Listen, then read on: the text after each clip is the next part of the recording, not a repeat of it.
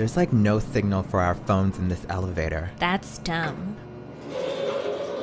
Oh my god, I think the elevator just stopped. Oh my god, is this really happening? I told you your asses were too much weight. Shut up, Courtney. What do we do?